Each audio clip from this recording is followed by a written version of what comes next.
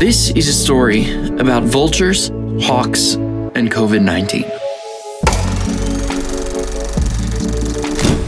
Alright, guys, you're gonna need to, um, bear with me here for a second because this is gonna be a super roundabout way of talking about the pandemic.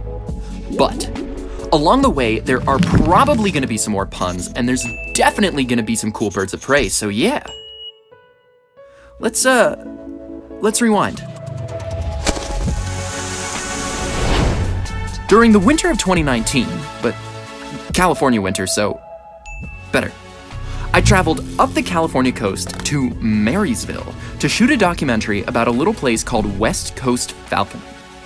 Now, this is an actual falconry center offering classes and hands on experiences with, well, falcons, of course, but owls and hawks too, and there's even a very kind vulture named Zope.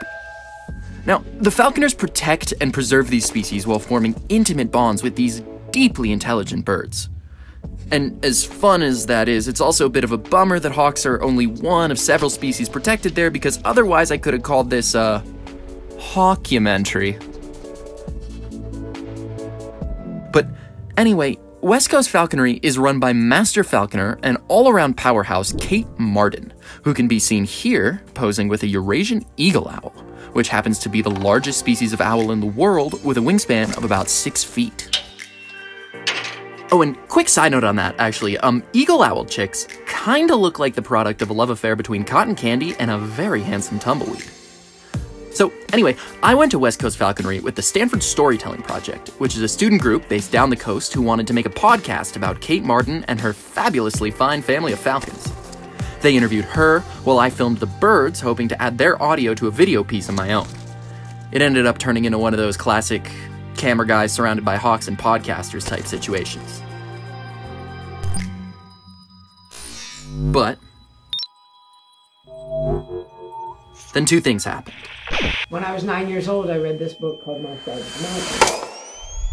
First, a couple of days after we got back to Stanford, we realized a lot of the audio was lost. Now, that was a real bummer. I, I mean, I thought for a while a silent film about birds of prey could be kind of cool and maybe sort of old timey and artsy, maybe, like this. Eleanor? I've always loved you, Eleanor. Johnson, you're just a regular hawk, and I'm. Well, I'm a falcon, Johnson. I don't know, but then I thought that bit could only go on for so long, and plus, like, we all know Eleanor and Johnson would get together in the end, so I never went for it. Instead, the Falcon footage just sat there for the next year and nothing really became of it. And then the second thing happened. And we reached another tragic milestone today, the most reported coronavirus deaths in a single day. Well over. The uh, center did say that this outbreak would last at least um, uh, two years. In my view, horrific images of people in spring break in Florida and the beach as if nothing's going Possibly no graduation ceremony. Lifelong memories. So-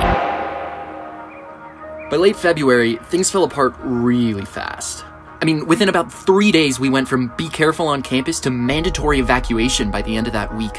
So, my dad drove nine hours overnight to pick me up, and to this day, I haven't been back to campus. At home, it's quiet. We do family yoga and watch the news, but you know, all the while, it's slowly dawning on me that my college experience might be over. You know, sometimes it makes it really hard to find some beauty in all of this. And usually, art would help me do that, but it's kind of hard to make a movie by yourself. And then it hit me. Long ago, in a world where people hugged and parties raged and smiles were left uncovered, a young man journeyed north to wield his camera in the face of falcons. There was footage. And where there's footage, there's life. So let's go back to Zopi.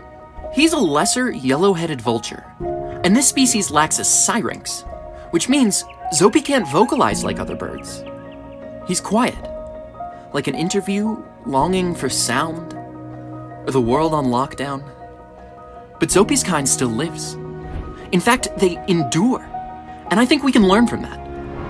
Now, yellow headed vultures often fly alone, like a lot of us are right now, but they don't let it tire them. Instead, they use thermals to keep up altitude, saving energy for when the moment's right.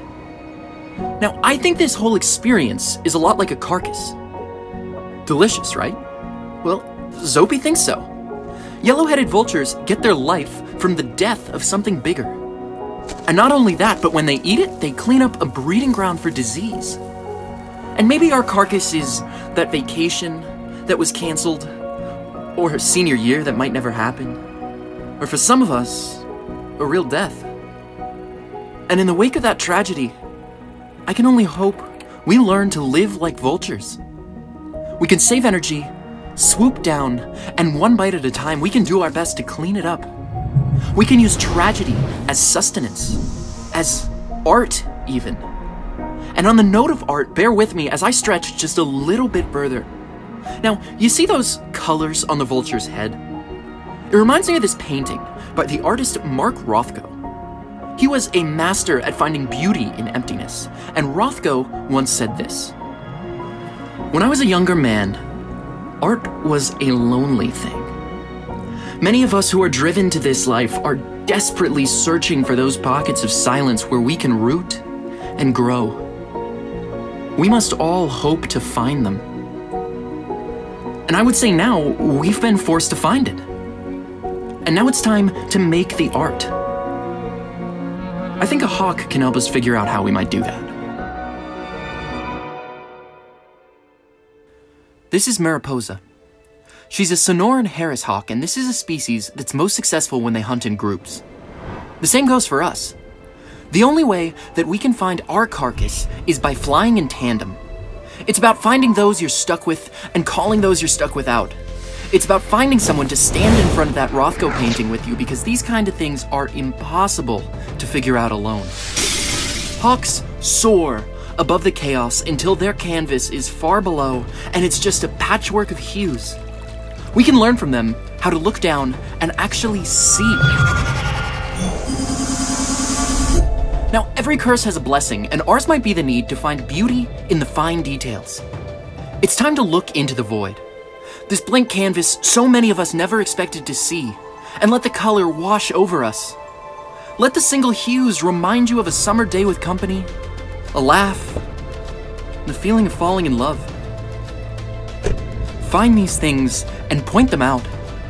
Help others swoop down and feed themselves. Find the art and share it. Now, Rothko once said, You've got sadness in you, I've got sadness in me. And my works are places where the two sadnesses can meet, and therefore both of us need to feel less sad. Now, I, I know this probably sounds a little naive, but with a little footage and not much else, it's the most I can do. I, I was lost, and I looked back, and as best I could, I tried to find the art in something that fell apart. It wasn't perfect, but I used the footage. All that to say, if we find beauty in the moment, if we can learn the art of sadness, we can connect from separate rooms.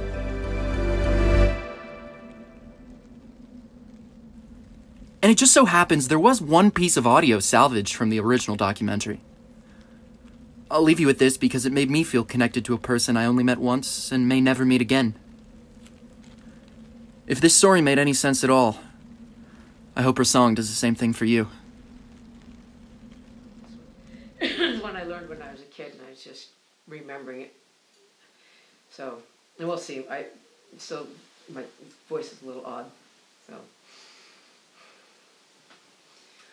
I have seen the lark soar high at morn, heard his summer song in the blue.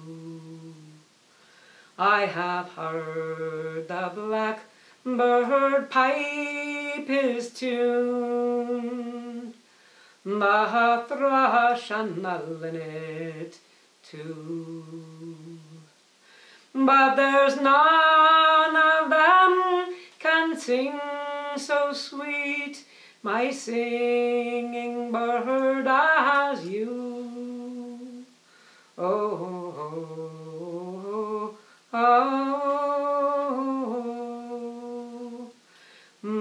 singing bird as you. I've seen the lark so high at morn, heard his song up in the blue.